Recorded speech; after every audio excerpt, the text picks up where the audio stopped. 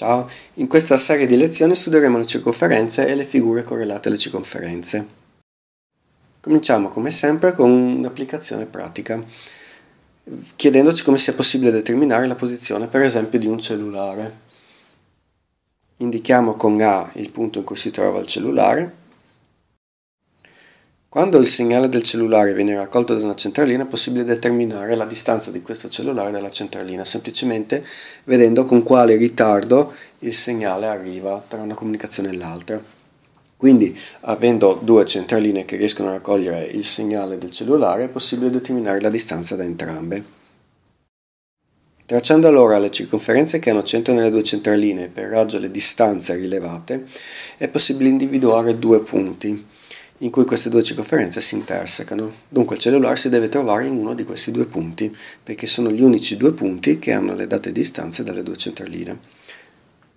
Avendo a disposizione allora una terza centralina e rilevando la distanza del cellulare anche da quella centralina è possibile stabilire quale dei due punti è quello occupato dal cellulare. Un meccanismo analogo è alla base del funzionamento del GPS, anche se in questo caso la situazione è più complicata, ma non entriamo nei dettagli. La circonferenza è un esempio di quello che viene chiamato in geometria luogo geometrico, cioè un insieme di tutti i soli punti del piano che soddisfano una certa proprietà. Altri esempi sono l'asse di un segmento e la bisettrice di un angolo. Cominciamo da questi. L'asse di un segmento è la retta che passa per il suo punto medio ed è perpendicolare ad esso vogliamo dimostrare che è anche il luogo geometrico di tutti i punti del piano equidistanti dagli estremi di quel segmento. Bisogna dimostrare due cose, cioè prima di tutto che i punti che stanno sull'asse del segmento sono equidistanti dai suoi estremi e viceversa che se un punto è equidistante dagli estremi del segmento allora appartiene al suo asse. Dimostriamo la prima cosa, dunque prendiamo un punto P che stia sull'asse del segmento e consideriamo le sue distanze dagli estremi, quindi segmenti PA e PB. Il triangolo AMP e il triangolo BMP sono tra loro congruenti per il primo criterio di congruenza. Infatti AM è congruente a MB, PM è un lato comune e gli angoli AMP e BMP sono retti. Di conseguenza AP e BP sono congruenti in quanto sono elementi corrispondenti di triangoli congruenti e abbiamo dimostrato che il punto P è equidistante da A e B. Viceversa, supponiamo che Q sia un punto equidistante da A e B. Per il momento non lo disegno nell'asse del segmento. Dimostreremo che appartiene ad esso però. E facciamo essenzialmente il ragionamento contrario. Se colleghiamo Q ad A e a B, sappiamo per ipotesi che questi due segmenti sono tra loro congruenti. Se consideriamo allora anche il segmento QM, i triangoli AMQ e BMQ sono tra loro congruenti per il terzo criterio di congruenza, infatti hanno i tre lati ordinatamente congruenti. Di conseguenza tutti i loro elementi corrispondenti sono congruenti, in particolare l'angolo AMQ è congruente all'angolo BMQ. E siccome la somma di questi due angoli in angolo piatto, entrambi devono essere retti, quindi il punto Q appartiene all'asse del segmento. In modo analogo possiamo dimostrare che la bisettrice di un angolo è il luogo geometrico di tutti i punti del piano che sono equidistanti dai lati di quell'angolo. Se prendiamo per esempio un punto P che appartiene alla bisettrice, per ipotesi gli angoli AOP e BOP sono tra loro congruenti. Le distanze di P dai lati dell'angolo si ottengono attraverso le proiezioni.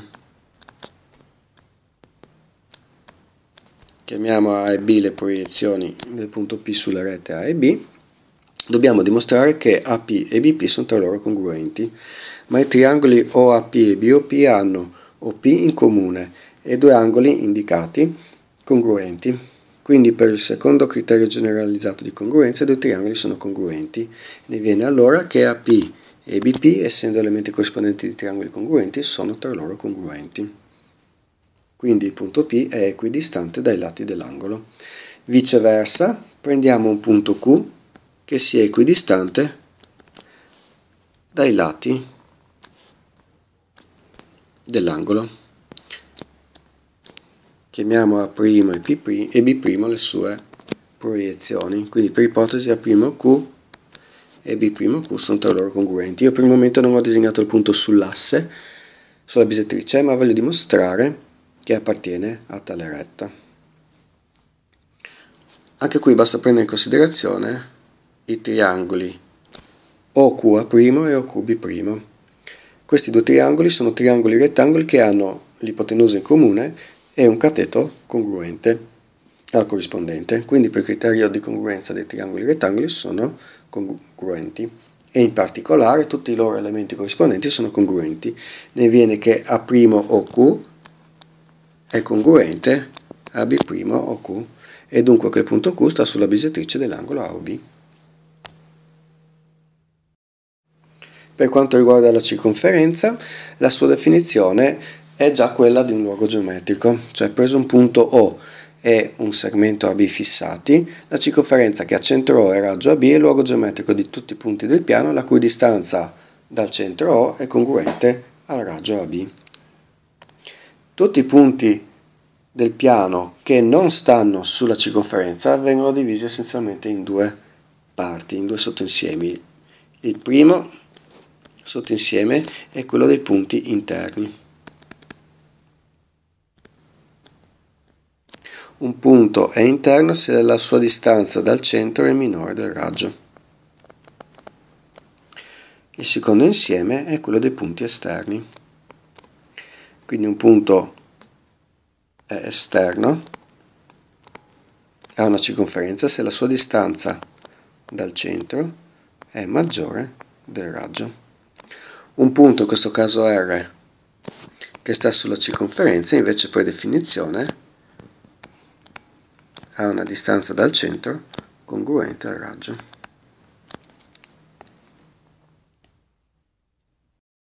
Dopo aver visto la definizione di circonferenza come luogo geometrico, ci si può chiedere quali siano le condizioni che permettono di definire una circonferenza. Per esempio, per un punto passano infinite circonferenze, quindi il punto non è adatto a individuare una ben precisa, e neanche due lo sono. Possiamo dimostrare, lo faremo ora, che dati tre punti qualsiasi, purché non siano allineati, esiste una e una sola circonferenza che passa per tale punti.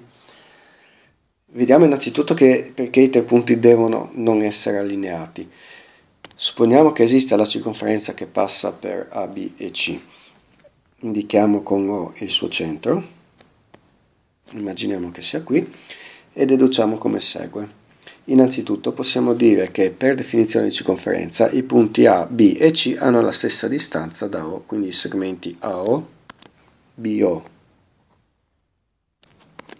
e CO sono tra loro congruenti. In particolare O è equidistante da A e da C, dunque deve appartenere all'asse di quel segmento.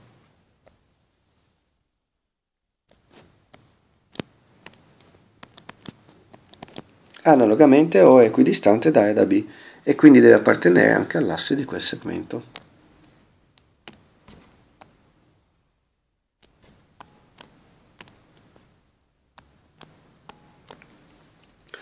Ora si capisce perché i punti A, B e C non possono essere allineati. Se A, B e C fossero allineati, i segmenti A, B e AC starebbero sulla stessa retta e da un punto esterno di questa retta, cioè da O, potrebbero essere condotte due perpendicolari distinte alla stessa retta, cosa impossibile perché la perpendicolare condotta da un punto esterno a una retta è unica. Dimostriamo allora il teorema inverso, cioè che se prendiamo tre punti qualsiasi che non siano allineati, esiste una, una sola circonferenza che passa per tali punti. Lo spunto per la dimostrazione ce lo dà la dimostrazione che abbiamo appena fatto. Cioè se prendiamo in considerazione i segmenti AB e AC, abbiamo visto che il centro della circonferenza dovrebbe stare sugli assi di questi due segmenti. E quindi tracciamo gli assi dei due segmenti. Cominciamo per esempio con l'asse di AC, passa per il suo punto medio ed è perpendicolare adesso, e poi prendiamo in considerazione l'asse di AB, che ha proprietà analoghe. A questo punto la prima cosa da dimostrare è che questi due assi non sono paralleli se i tre punti A, B e C non sono allineati. Se questi assi fossero paralleli tra di loro, per assurdo, allora tracceremo la parallela all'asse di AB passante per il punto A. E questa retta, per le proprietà delle parallele, dovrebbe essere parallela anche all'asse di AC. Stiamo usando la proprietà transitiva. L'asse di AC è parallelo all'asse di AB, questa retta è parallela all'asse di AB, quindi questa retta deve essere parallela all'asse di AC. Ma dato che l'asse di AC è perpendicolare ad AC, la proprietà delle parallele ci direbbe che anche quest'ultima retta che abbiamo tracciato è perpendicolare ad AC, ma siccome essa è anche perpendicolare ad AB, perché è parallela all'asse di AB, avremo che il segmento AC e il segmento AB sono entrambi perpendicolari a questa retta e quindi i punti A e B ci sarebbero allineati. Siccome per ipotesi non lo sono, vuol dire che da qualche parte abbiamo sbagliato, e cioè ad ipotizzare inizialmente che i due assi non si intersechino. Ripristiniamo allora il disegno corretto.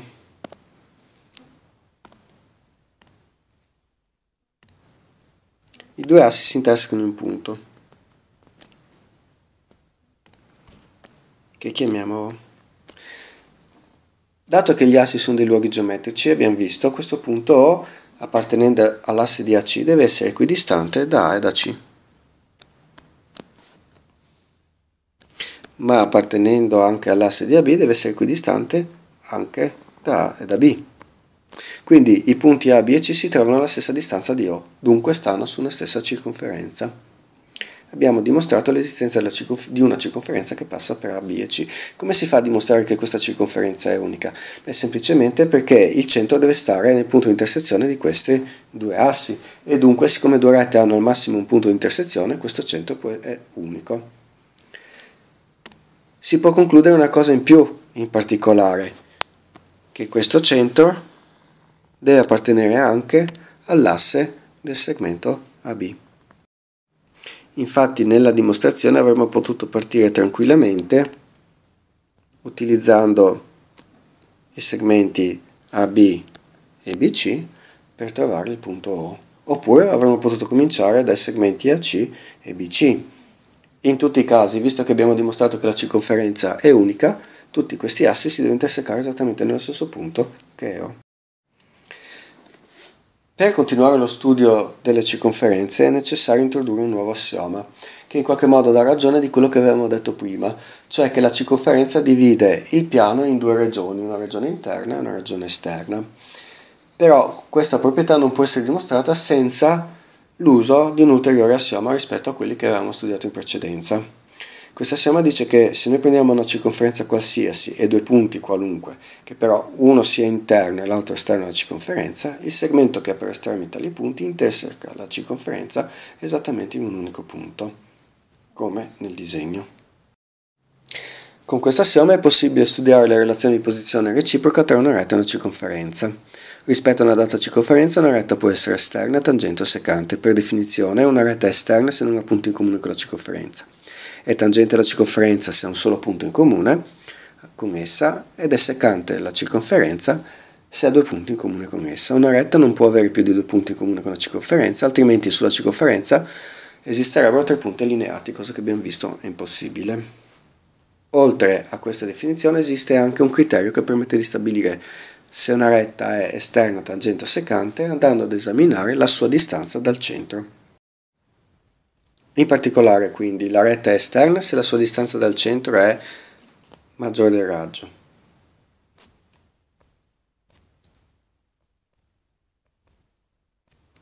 Quindi OH maggiore del raggio che qua indico con R minuscola. Una retta è tangente se la sua distanza dal centro è congruente al raggio.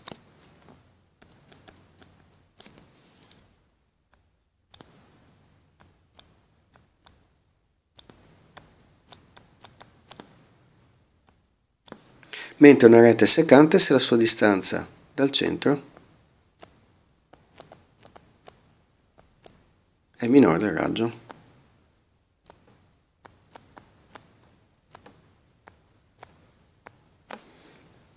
Bene, dimostriamo che le cose stanno così, cominciando dal caso in cui la distanza della retta dal centro sia maggiore del raggio. il punto H che è la proiezione di O sulla retta e quindi che realizza assieme al punto la distanza tra la retta e il centro, è esterno perché la sua distanza da O è maggiore del raggio. Se prendiamo un qualunque altro punto P sulla retta, allora il triangolo OPH è un triangolo rettangolo e OP è la sua ipotenusa. Quindi OP, che è l'ipotenusa, è maggiore di qualunque cateto del triangolo, in particolare è maggiore di OH. Siccome OH è maggiore di R, per la proprietà transitiva della relazione di ordine, abbiamo che OP è maggiore di R, quindi anche P è un punto esterno. Siccome P era un qualunque altro punto della retta, tutti i punti della retta sono esterni alla circonferenza, quindi la retta non ha punti in comune con la circonferenza e dunque esterna ad essa. Se prendiamo poi in considerazione il caso in cui la distanza della retta dal centro della circonferenza sia congruente al raggio, allora il punto H è un punto della circonferenza per definizione di circonferenza. Se prendiamo un qualunque altro punto P sulla retta, come prima il triangolo PH è un triangolo rettangolo. E dunque la sua ipotenusa OP è maggiore del cateto H, che è congruente al raggio, quindi il punto P avendo una distanza dal centro della circonferenza maggiore del raggio, è un punto esterno. Dunque, questa retta ha un unico punto in comune con la circonferenza che è il punto H. Nella figura prima era indicato in rosso questo punto con nome T, che sta per punto di tangenza della retta alla circonferenza. Supponiamo invece che il, la distanza tra il centro della circonferenza e la retta sia minore del raggio. Possiamo dimostrare che questa circonferenza ha due punti di intersezione con la retta. Vediamo come si fa. Prendiamo su questa retta un punto P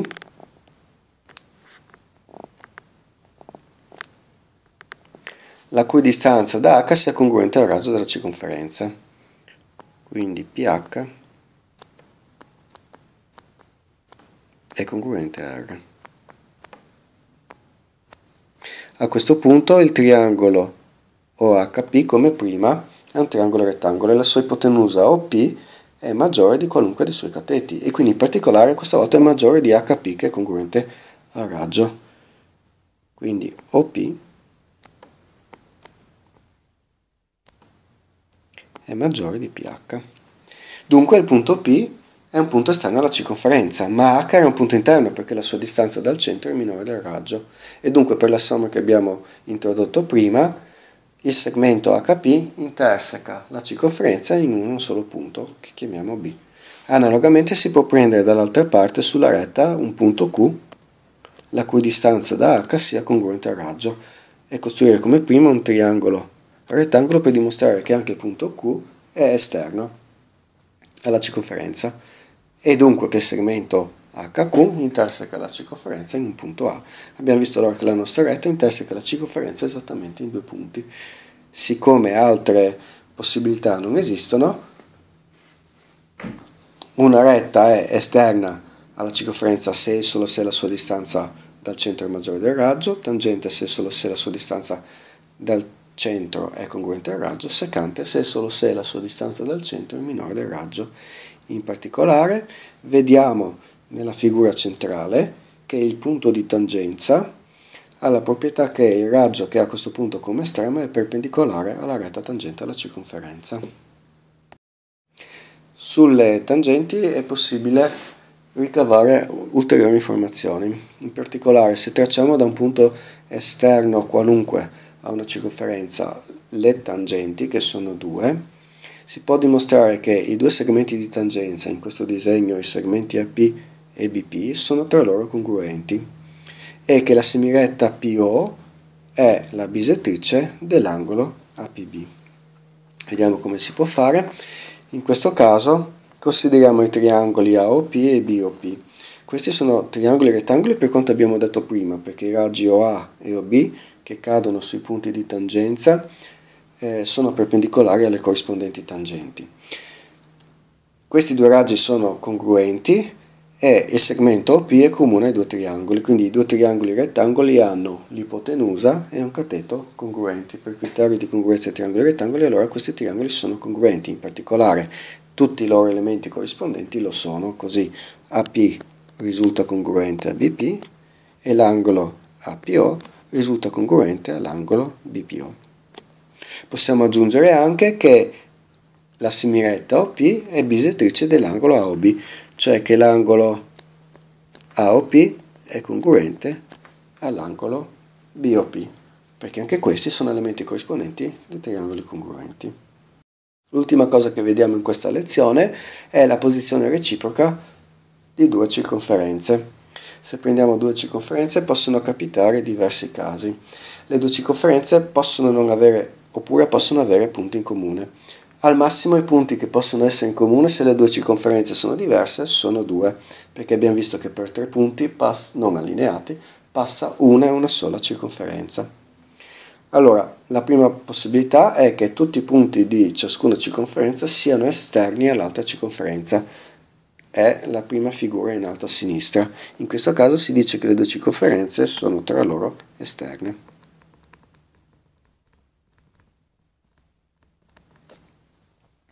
Poi le due circonferenze possono avere un unico punto in comune.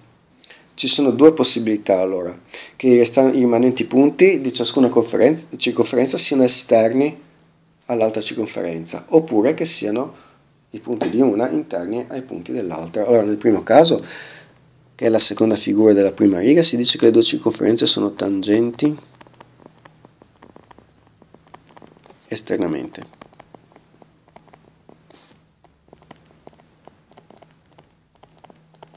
Nel secondo caso, che è la prima figura della seconda riga, le due circonferenze sono tangenti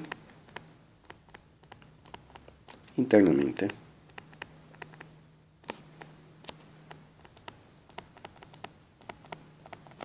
Quando invece le due circonferenze hanno due punti in comune si dice che sono secanti, mentre l'altra possibilità in cui le due circonferenze non hanno punti in comune è quella che una delle due sia interna all'altra. Un caso particolare di una circonferenza interna all'altra è quella in cui le due circonferenze hanno lo stesso centro. In questo caso si dice che sono concentriche.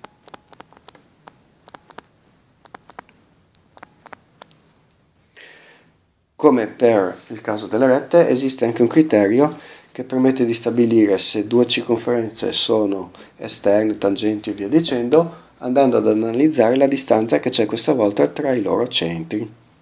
Se indichiamo per esempio con R maiuscolo ed R minuscolo i raggi delle due circonferenze, allora il criterio dice che se la distanza tra i centri è maggiore della somma dei raggi, allora le circonferenze sono esterne.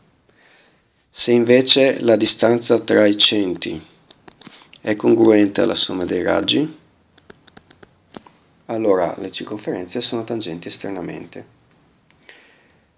Se invece la distanza tra i due centri è compresa tra la differenza dei raggi, il maggiore e meno il minore, quindi supponiamo in questo caso che R maiuscolo sia il raggio maggiore, e la somma dei due raggi, allora le due circonferenze sono secanti. Se invece la distanza tra i centri è esattamente concurrente alla differenza tra i raggi, quindi in questo caso R maiuscolo rappresenta il maggiore dei due raggi, allora le due circonferenze sono tangenti internamente. Se invece la distanza tra i centri è minore della differenza tra i raggi, allora le due circonferenze sono una interna all'altra e questo capita nel caso particolare in cui le circonferenze siano concentriche e quindi che la distanza tra i due raggi, tra i due centri sia uguale a zero. Prova tu a dimostrare che vale questo criterio. La lezione è terminata, vediamo se è tutto chiaro.